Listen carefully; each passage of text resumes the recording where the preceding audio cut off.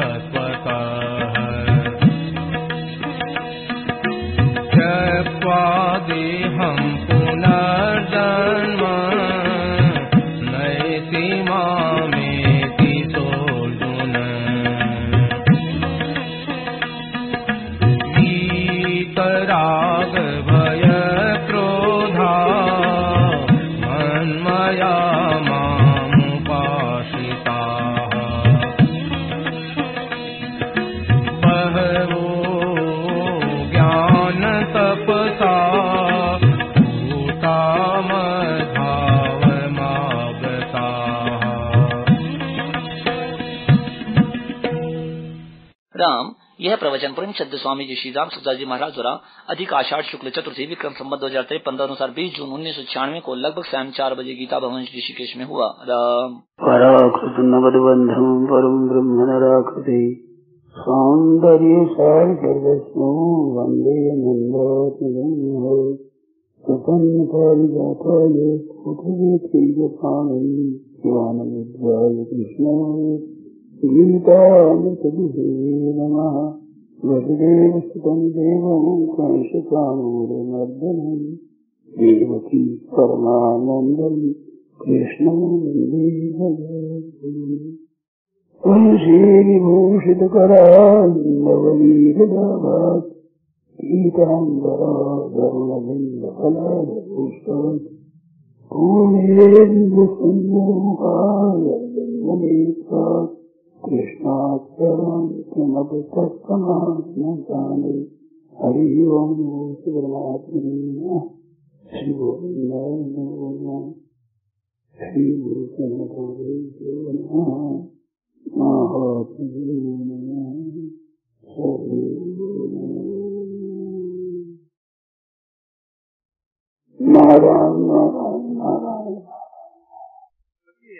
कि पूर्ण शांति रहती है, राग द्वेष रहित हो जाते हैं। संपूर्ण प्राणियों में वासुदेव वासुदेव ही दिखते हैं। मन में गलत विचार नहीं आते हैं। मन व्रत सोचता नहीं है। पर कुछ क्षण बाद जो हमारी वो स्थिति नहीं रहती, जो पहले थी, ऐसा क्यों होता है? ज़्यादा रहा तो स्थिति कुछ दिनों तक ही रहती है क्या? ये सदा रह सकती है। ये वास्तविकता है, ये वास्तविक। और राग द्वेष ईर्षा आदि ये अवास्तविक नहीं है। ये आगंतुक है। जो सात्विकता ज़्यादा होती है, सत्संग होता है, सदविचार होता है, भगवान नाम लेते हैं तो स्थिति सुगमता से होती है। और नहीं तो ये वैसी नहीं रहती। ये सदा होने वाली है। ये भगवान की बहुत कृपा हो गई। आपको ये पता लग गया कि ऐसी स्थिति है। वो सदा ही रह सकती इस वास्ते इसकी उम्मीद रहनी चाहिए, मैंने हिम्मत रखनी। और भगवान से प्रार्थना करते रहना। तो स्थिति सदा रह सकती सदा ही। हमने सुना है संत महात्माओं की ऐसी स्थिति रहती है और मस्त रहते एकदम ऐसी रहती है। तो उनकी रहती तो हमारी भी हो सकती है। हमारी क्यों नहीं हो सकती है? हमारे मन में क्या फ़र्क है? भगवान की तो फ़र्क है, नहीं प्रसन्न है नहीं। इस बात ये बहुत ठीक है। आपको अनुभव हो गया, ये विशेष बात है। यह कलयुग में भगवत भजन का अनुभव जल्दी होता है। तो हज़ारों वर्षों तक तपस्या करने पर भी ये पारमार्थिक उन्नति नहीं होती। और भागवत में और महाभारत में देखो तो हज़ारों वर्षों तक करते हैं, कोई तो संतान वास्ते करता है, कोई राज्य वास्ते करता है, कोई इंद्रासन वास्ते। ऐसे ऐसे ज़्यादा मिलेंगे, भगवान की प्राप्ति के लिए साधन करने वाले पहले जमाने में भी कम थे, और इस जमाने में तो बहुत बहुत कर काम है। तो ऐसी स्थिति हो जाए तो बड़ी उम्मीद आनी चाहिए मन में कि ये बात ठीक है हमारे हो सकती है। बड़ी अच्छी, बहुत ही अच्छी बात, बड़ी आनंद की बात है।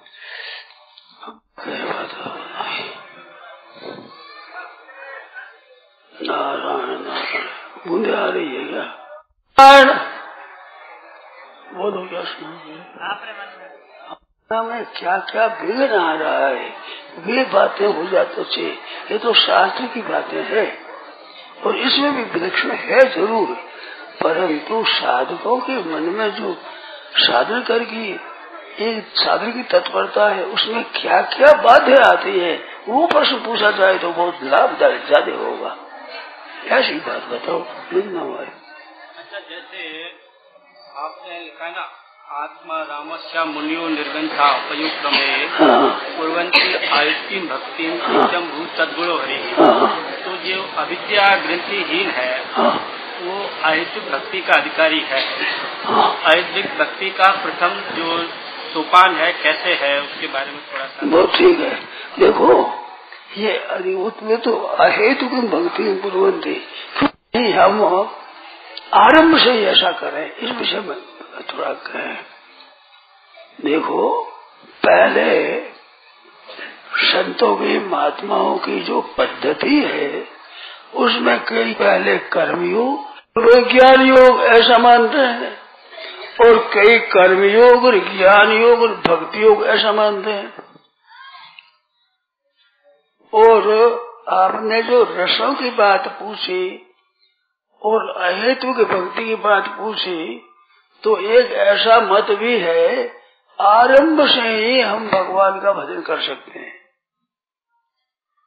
वे निर्ग्रंथ रूप में निर्ग्रंथ है निर्ग्रंथ के दो अर्थ होते हैं। ये तो हमारा ग्रंथ ही भेदन उचित जड़ ग्रंथ ही भेदन हो गया, और ये ग्रंथ नाम जितने शास्त्र है, उन शास्त्रों से ऊँचे उठ गए।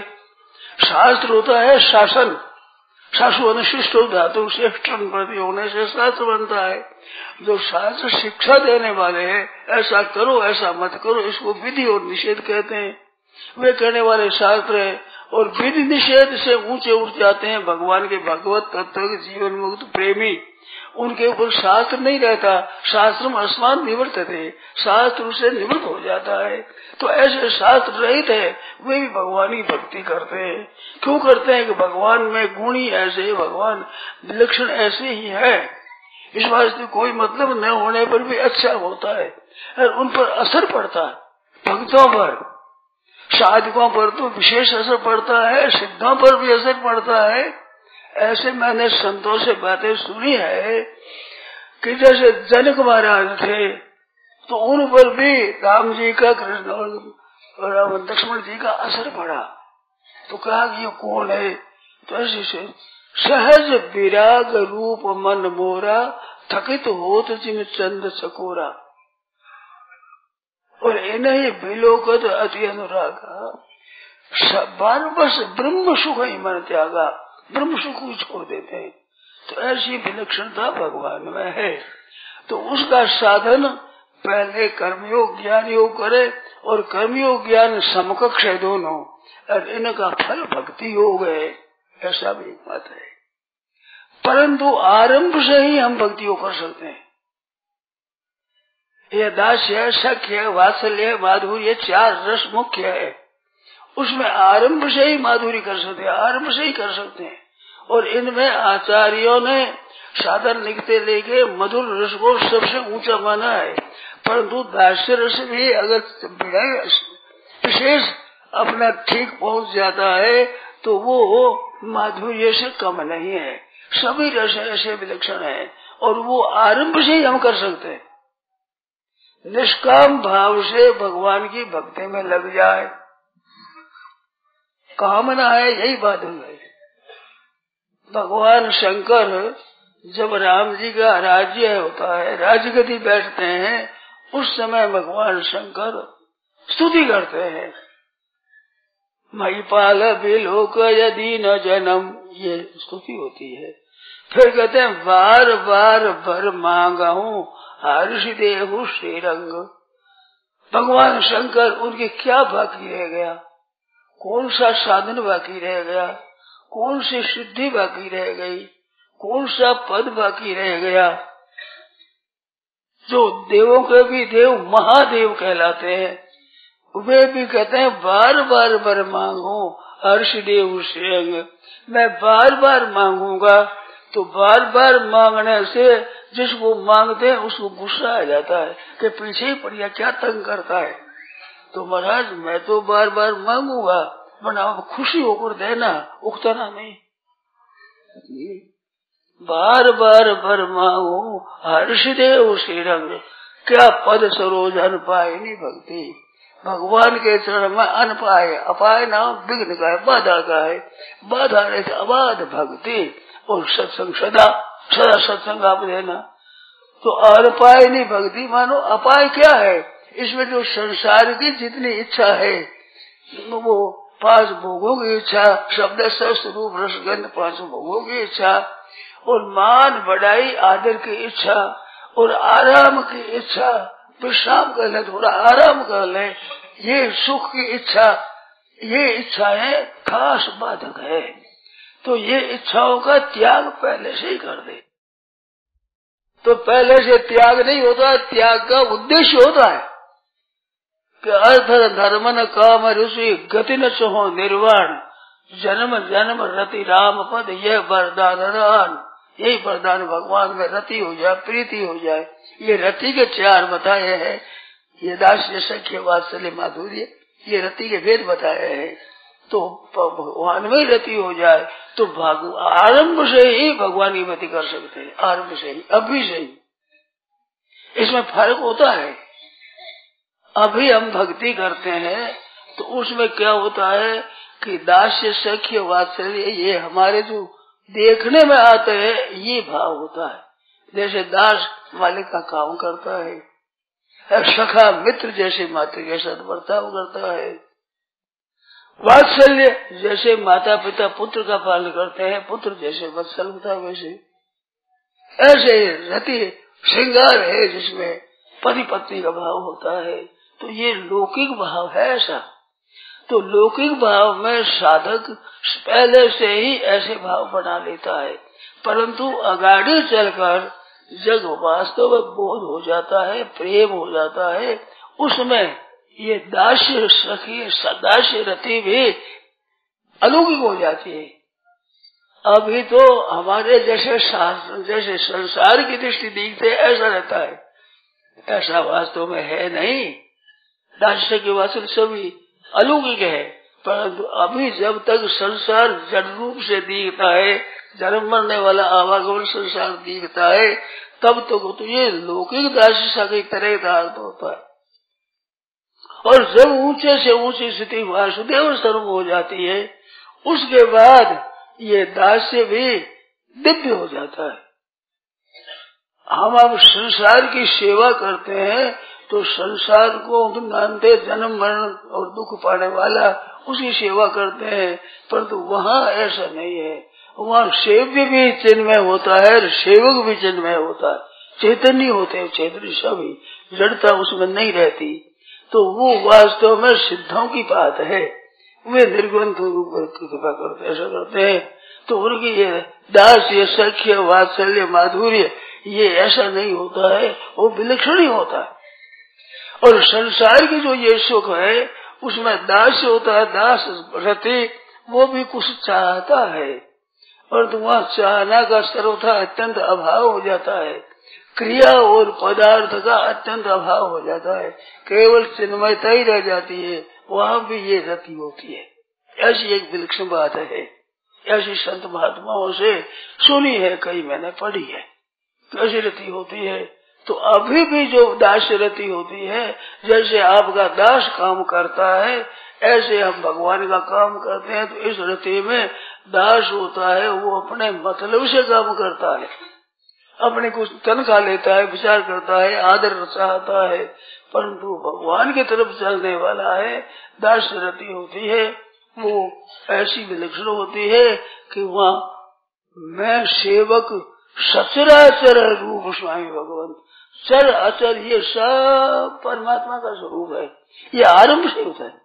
आरंभ से ही ऐसा करता है। और सिद्धि हो जाने पर भी होता है ऐसा। तो साधन करते हुए चर, अचर भगवान है।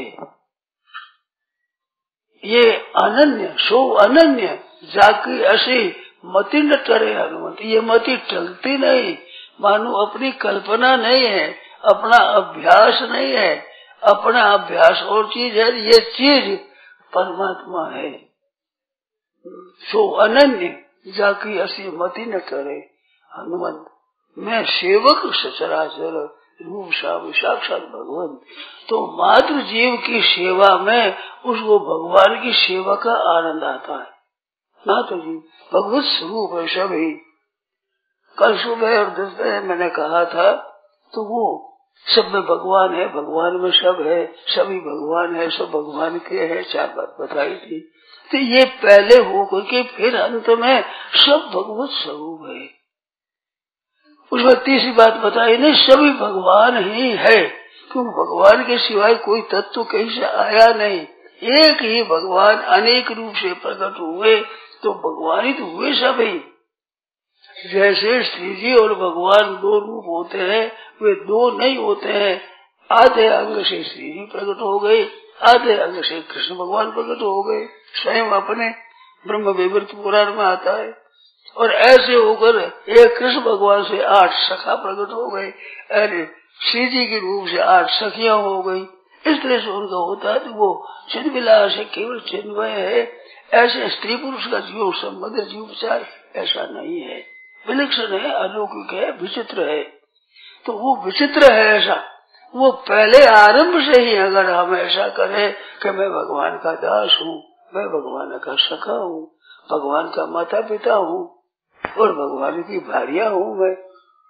उस भारिया में मेरे सुख यार पर यार ऐसे कई भेद होता है। तो भेद का तात्पर्य यहाँ जैसे सुखी या प्रक्रिया ये बात नहीं है। वो बात है कि प्रक्रिया भाव में कोई स्वार्थ नहीं रहता। तो स्वार्थ रहने रहने की बात बताने के लिए प्रक्रिया भाव है। प्रक्रिया परिस्थिति नहीं है। ऐसा भाव होता है रसों में।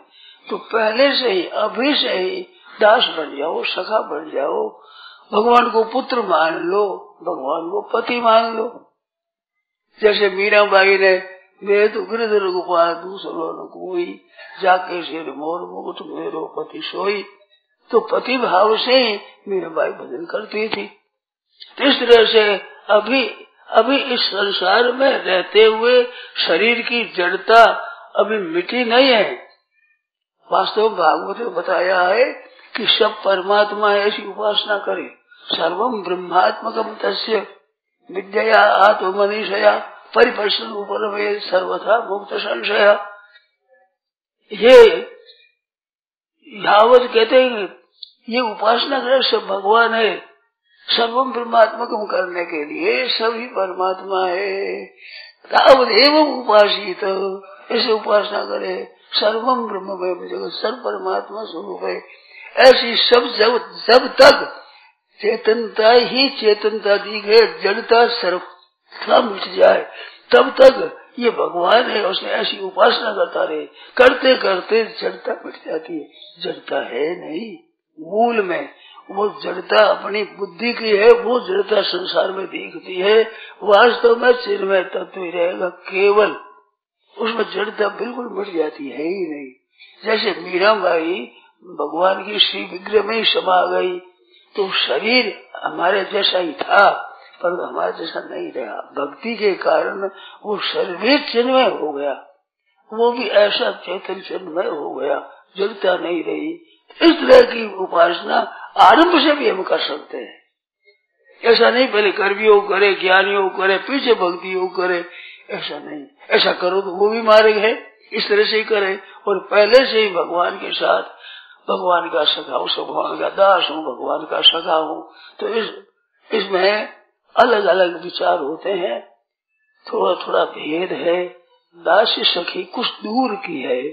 सखी बात कुछ नजीक का है और उससे नजीक का वात्सल्य भाव है और उससे नजीक का मध्य भाव है। ये नजीक नजीक होते हैं। जैसे नवधा भक्ति बताई तो नवधा भक्ति है, वो साधन भक्ति है। भक्तिया संजातया, भक्तिया बिभ्रत उत्पल काम तरुण भक्ति जो साधन भक्ति है, उससे शुद्ध भक्ति मिलती है। तो साधन भक्ति है श्रवणम कीर्तनम विष्णु स्वर्णम पाद सेवनम अर्चनम बंधनम दास्यम सख्यम आत्मनिवेदनम ये नौ प्रकार की भक्ति है। नौ प्रकार की भक्ति में भी तीन तीन तीन, ऐसे तीन भेद, तीन त्रिक है ये। तीन त्रिक। श्रवणम कीर्तनम विष्णु स्मरणम ये दूरी से होता है। श्रवण होता है तो भगवान दूर है, उनका मैं श्रवण कर, उसी कथा सुन रहा हूँ। श्रवण कीर्तन करता है तो भगवान दूर है, कीर्तन करता हूँ। श्रवणम कीर्तनम विष्णु स्मरणम याद भी करते हैं तो भगवान की दूरी रहती है। श्रवणम कीर्तनम विष्णु स्मरणम पाद सेवनम तो चरणों का सेवन करते उसे नजीक आ गए। अब दूर नहीं रहे अब चरणों में आ गए। पाद सेवन अर्चनम तो चरणों का सेवन करना, पूजन करना अर्चनम बंधन और बंधन नमस्कार करना, ये उससे नजीक आ गए इससे आगे स्मरणम पाद अर्चनम वंदनम और दास्यम, सख्यम रात में ये तीन हो गए, बिल्कुल नजीक हो गए। एक हो गए, दास्यम, सख्यम और आत्मनिवेदनम। वो आत्मनिवेदन वास्तव में माधुर्य भक्ति आ जाती है। ये नौ प्रकार की भक्ति, ये साधन भक्ति है। इस साधन भक्ति से फिर साध्य भक्ति जो रागानुगा, रागात्मिका ऐसी भक्ति होती है तो वो भक्ति वास्तव में बड़ी ऊँची भक्ति है। उसमें रागात्मिका भक्ति में आचार्यों के मतभेद है। कहते रागात्मक भक्ति शिव जी की जो होती है, वो की नहीं होती। वो रागानुगा भक्ति होती है। और कई शब्दों ने ऐसा कहा है कि वो रागात्मक रागात्मक, रागानुगा हो रागात्मक भक्ति सबको प्राप्त हो सकती है। ऐसा ही आता है। तो वास्तव में ये नवदा भक्ति पहले करना है, इससे फिर प्रेम लक्षणा भक्ति प्राप्त होगी वो ज्ञान से ही ब्रह्म भूत है प्रश्न गीता में। ब्रह्म भूत है प्रसन्न आत्मा न सोचती न कांक्षती। समाज सर्वेशु भूतेषु मद भक्ति लभते परा मेरी परा भक्ति को प्राप्त हो जाता है। तो परा भक्ति प्राप्ति है। परा भक्ति में भक्तिया ने फिर परा भक्ति थे अनन्य होकर के यावान यश था तो मैं जो हूँ, जैसा हूँ, ऐसा मेरे को जानते हैं। तो जो हूँ, जैसा हूँ, ऐसे ज्ञान मार्ग मानते हैं। परंतु ये शब्द बड़े विलक्षण है। हमारे तो कई दिनों से खटक थे, क्या बात है? ब्रह्म में यावान यश तत्व तो यावान यश कैसे होगा? यावान तावान तो प्रकृति में होता है। परंतु वो दिव्य है या विलक्षणता है तो भगवान की वह यावान जैसा ये भी दिव्य है तन्मयता होती है, वो प्राप्त हो जाएगी वो पराभक्ति हो जाती है। भक्तिया मामा भी जाना कैसे यावान जो मैं सम यावानम यथा भव यद रूप गुण कर्म तथे तत्व विज्ञान वास्तु बदनुग्रह भागवत में, ऐसे चतुश्री भागवत में भगवान ने ब्रह्मा जी को उपदेश दिया है तो वहाँ पता यावानम यथा भाव यद रूप गुण कर्म का तथे तत्व विज्ञान वास्तुदेव मदन भगवान की कृपा से ऐसा हो जाए। ऐसे तुम कल्प विकल्प से कर फिर तुम कभी मोहित नहीं होंगे। ये आखिरी भक्ति है। वो आखिरी भक्ति आरंभ से भी कर सकते हैं। पहले ज्ञान योग कर्म योग न करके भी आरंभ से ही कर दो। तो आरंभ से भक्ति करने वालों को भगवान ज्ञान योग भी देते हैं भगवान कर्म योग भी देते हैं भगवान। गीता में कहा है ददा में बुद्धि योगम तम, ये माम अंत थी। और तेषा अनुकंपार्थम दसवें अध्याय का दस बार ग्यारहवा श्लोकों में भगवान के बुद्धि योग देता हूँ और अज्ञान तमा नाशया में अज्ञान जन अंधकार को मैं दीपेन, ज्ञान दीपेन भाषवता ज्ञान दीपेन, अज्ञान जम तमा नाशया में अज्ञान जन अंधकार का मैं नाश कर देता हूँ। तो भगवान सब दे देते हैं। तो केवल आरंभ से ही भगवान के अधीन हो जाए। तो इसमें आरंभ से ही भगवान का नाम जपे, कीर्तन करे, श्रवण करे, मनन करे, संतों का संग करे, इस भक्ति की प्राप्ति, इस भक्ति की प्राप्ति के लिए सत्संग विशेष बताया है। जो भगवान के वास्तव में प्रेमी है, भगवान के प्रेम में जो मस्त है, उनकी कृपा से मिलता है। भक्ति स्वतंत्र सकल गुण खाने, बिंदु शत संगन पावही प्राणी। ऐसे भक्तों की संग बिना भक्ति मिलती नहीं है। इस वास्ते लभ्य थे तो तत्कृप यही हुआ। महाराज नारद जी ने भक्ति सूत्र में लिखा है, उन संतों की कृपा। भक्ति तात अनुपम सुख बोला, मिले जो संत हो ही अनुकूला। संत महात्मा अनुकूल होते हैं तो उनसे जल्दी मिलती है। उनकी कृपा से अथवा भगवत कृपा लेशाद्वा चाहे कृपा लव नवलेश मंद तुलसी दास हो पायो परम विश्राम है। तो ऐसे भगवान की कृपा लेश मात्र से संतों की कृपा से वो भक्ति मिलती है तो सत्संग से मिल जाती है। और वो सत्संग मिल जाता है। भगवान की उत्कर्ष लाभ या अभिलाषा और सदैव विषय अच्छे नहीं लगे, भोग अच्छे नहीं लगते, मान बढ़ाई अच्छे नहीं लगे। एक पारमार्थिक बात ही अच्छी लगती है, इसमें लग जाता है तो फिर उसका चतुष्टा चल पड़ता है। तो कर्म योग ज्ञान योग वो करना नहीं पड़ता। और ये साव स्वाभाविक हो जाता है, एक भक्ति हो। इस वास्ते भागवत में ज्ञान और वैराग्य, निष्काम भाव है ना, उसे वैराग्य खास है, उदारता है। वैराग्य और उदारता होने से कर्मयोग होता है। मानो भीतर से राग नहीं है और बस मन उदारता है। जिससे सेवा होती है तो सेवा नहीं बनती। तो सेवा भी वो हो जाती है। पीछे वे सब आप साफ़ होने लगते हैं। तो आरंभ से ही भगवान के चरणों का आश्रय लेकर भजन करता रहे और माँगता रहे प्रेम। भगवान का विश्वास और प्रेम, ये मांगने की चीज़ है। ये भगवान अपनी तरफ़ से देते हैं, बहुत कम जगह देते हैं। परंतु ये खास भगत के मांगने की चीज़ है। भगत कहता है कि महाराज, आपको, हम तो प्यारे को सब अपना अपना सबको प्यारा लगता है।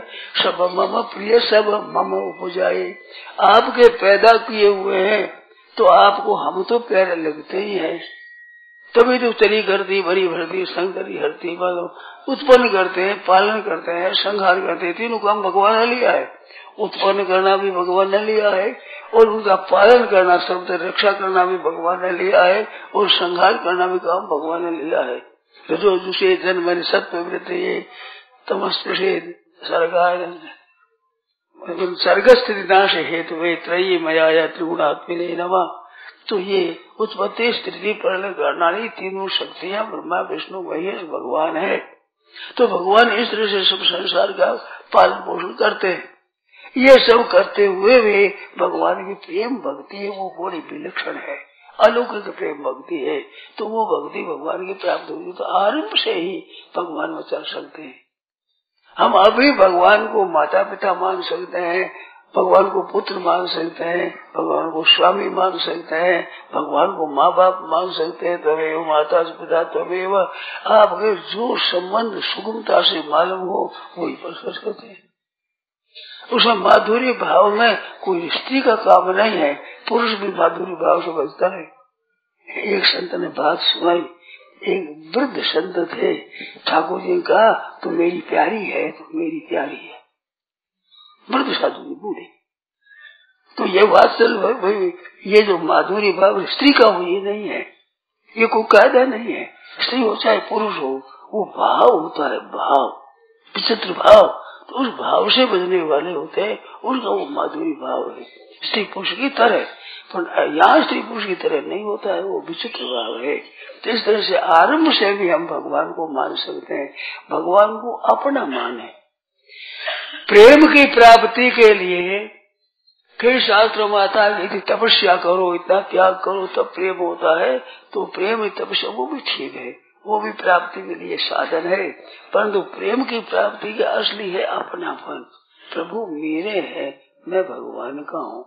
ये भाव बहुत ही ऊँचा है, श्रेष्ठ है और आरंभ से भी कर सकते आरंभ से बिल्कुल श्री गणेश यहाँ से ही हो सकते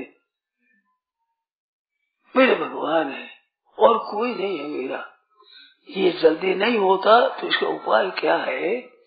कि सेवा करने के लिए तो सब संसार मेरा है, परंतु मेरे लिए कोई संसार नहीं है, शरीर भी मेरे लिए नहीं है। और मैं सबका हूँ, इस भाव से सेवा की जाए तो आरंभ से ही भगवत भक्ति हो जाएगी। शरीर सब सचराचर भगवान है, सब परमात्मा है। एक बात आती है सब जगह ईश्वर रूप है, सब जगह परमात्मा का स्वरूप है। ऐसा आता है वासुदेव स्वरूप।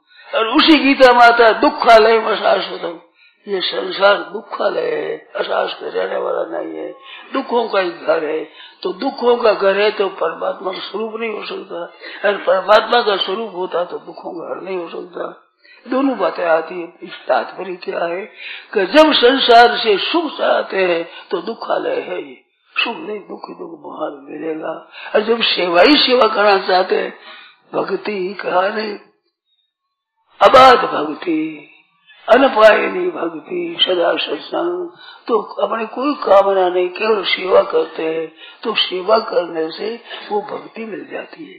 तो सबको सुख कैसे भगवान मेरे है, ये भगवान के स्वरूप है। प्रेम मैत्री उपेक्षा करो मध्यम होता है, ऐसा भक्ति के कई लक्षण बताए हैं, श्रेणियाँ बताई है, परंतु वास्तव में हमारे स्वार्थ का त्याग करके, स्वार्थ क्या है? शब्द स्पर्श रूप और सुगंध पास विषय है, और मान और बढ़ाई है, और दूसरे की ईर्ष्या होती है, ये चीज़ें न हो। और एक शरीर का आराम चाहते सुख चाहते ये बहुत दूर तक रहता है, बड़ा ही विघ्न है, ये बाधा है तो ये न हो जाए, इसका त्याग करके तब अनपाय नहीं भक्ति है, अपाय विघ्न रहित अबाध भक्ति होती है भगवान के चरणों में, शीश बना ले कि हमें कामना नहीं रखना है, अरे कामना बुरी लगने लग जाती है।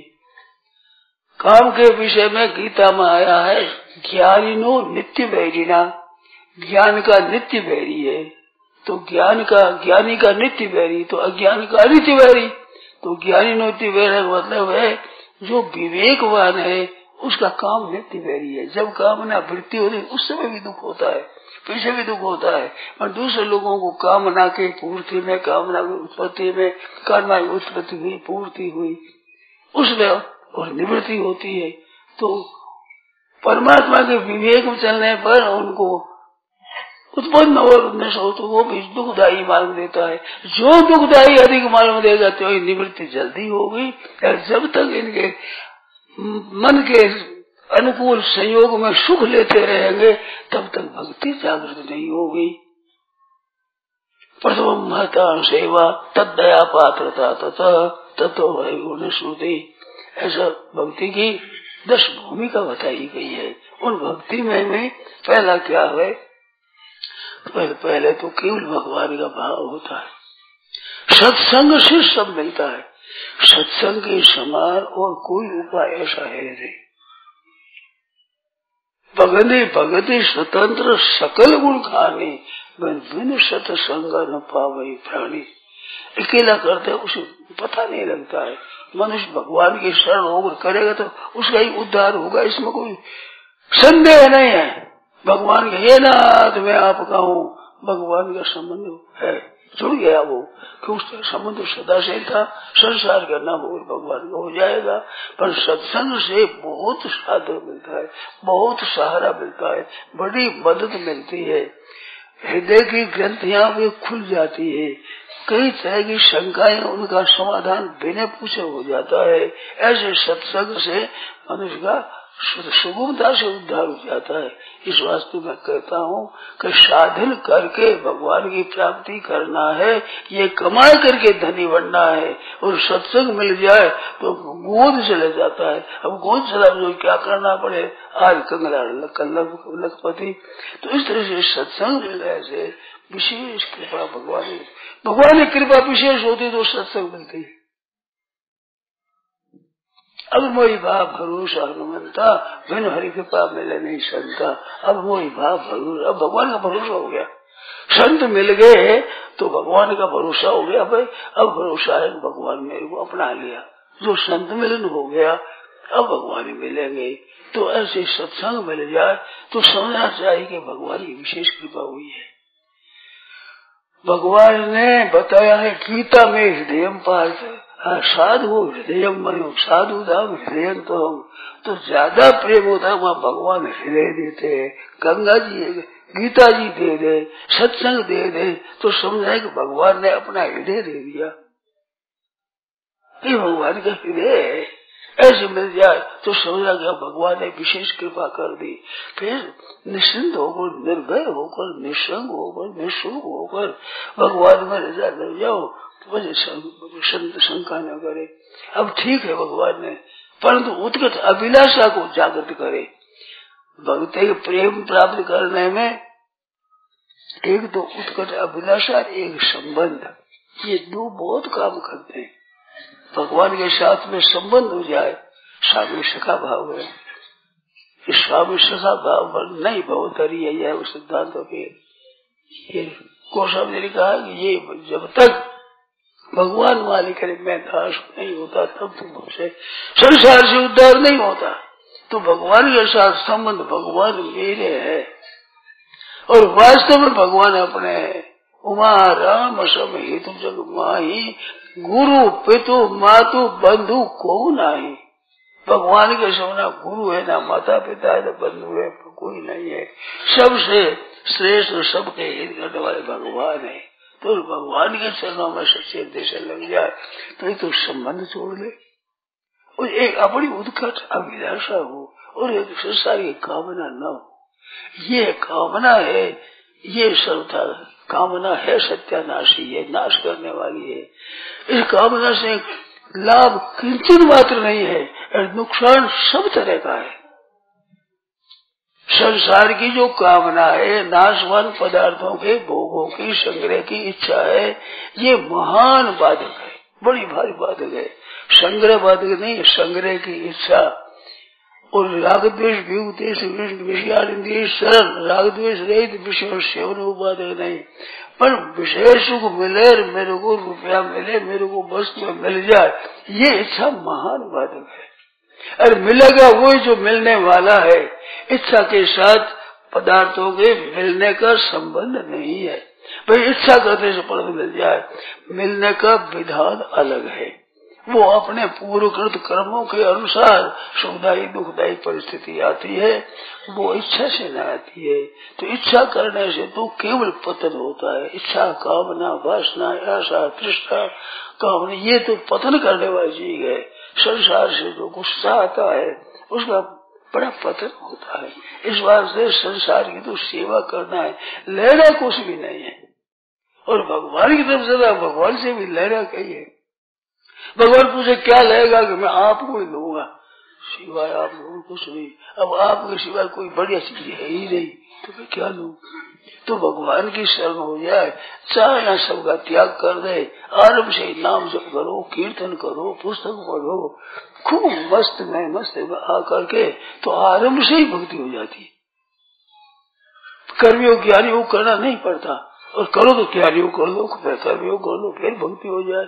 नहीं तो आरंभ से ही केवल भगवान मेरे मैं भगवान का हूँ, भगवान मेरे ऐसा अपनापन वो दासी हो सख्य हो वात्सल्य हो, मर्ज़ी हो, रूपा ले लो सारे स्वभाव ले लो भगवान के साथ संबंध हो भगवान मेरे हैं।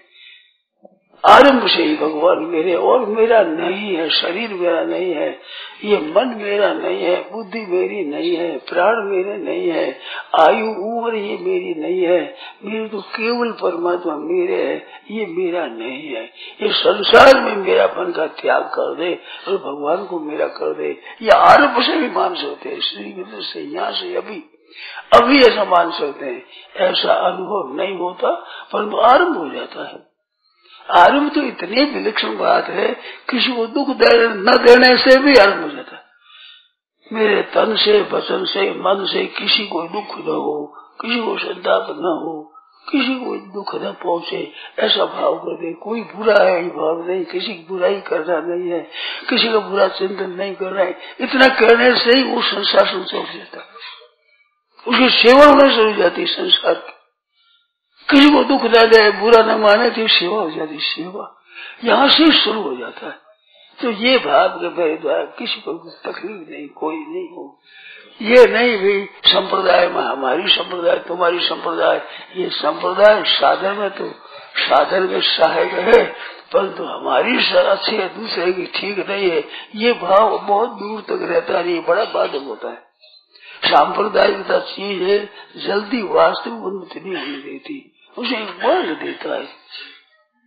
अपने एक समुदाय से चलो, पर दूसरे संपादक को छोटी मत समझो, उनको निरर्थक मत समझो, उसकी निंदा मत करो, उसका तिरस्कार मत करो, उसका अपमान मत करो। अल्लाह अकबर करता हो, उसको भी समझो हमारे परमात्मा का नाम है, वही अल्लाह और अकबर नाम है। लेते हमारे प्रभु का ही नाम है। हमारे भीतर में राग न हो। अपनी संप्रदाय ये दूसरी संप्रदाय ये भेद मिट जाए तो बहुत जल्दी उन्नति हो गई है। नहीं तो संप्रदाय के अनुसार चलने से कल्याण होगा। जो संत महापुरुष हुए हैं, अपने संप्रदाय का आचार्य उन्होंने जो कहा है, उसी अनुसार चलने से कल्याण होगा। परंतु संप्रदाय पक्षपात रहेगा तो मतवादी नहीं समझे, नहीं तत्वादी की बात। हरिया रत्ता तत्व का मत का रत्ता ना मत का रत्ता सोपरे जहाँ तत्व पाया ना। इस वास्ते किसी संप्रदाय के आए करके, दूसरे की निंदा उसकी विशेषता ऐसे न करके उस चले उसमें। चलने में अपनी संप्रदाय का जितने गुण लेवे, निंदा उस न लेवे। हमारे आचार्यों ने भी निंदा कर दी वो अंश आचार्यों का भी न सुने। और सब में और अपने मत के अनुसार सत्वा चलता रहे तो काम हो जाएगा। अतः मेरा और कोई नहीं है।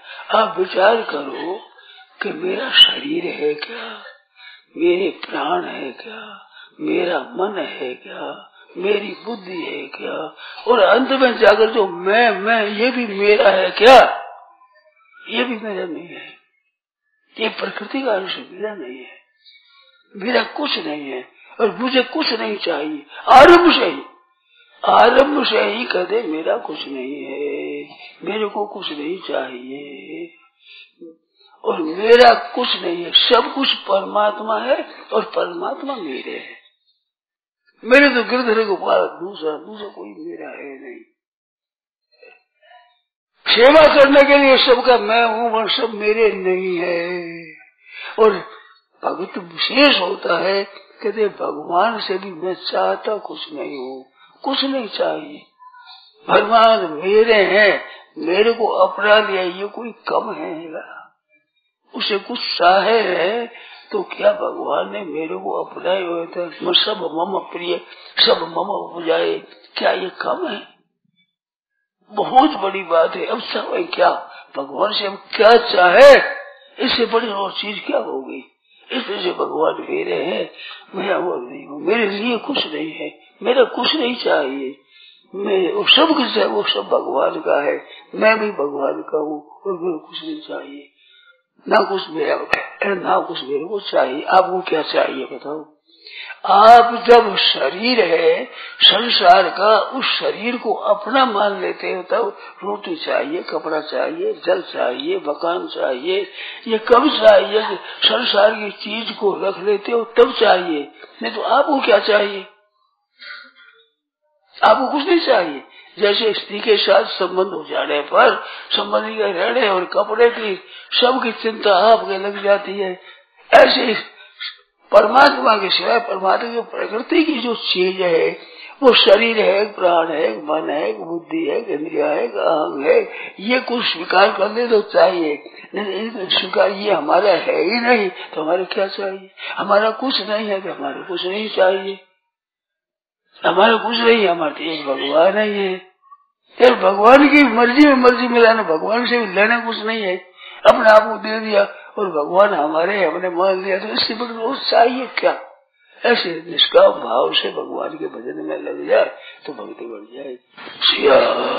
राम चंद्र की जय। गौर मुकटवंशी वाले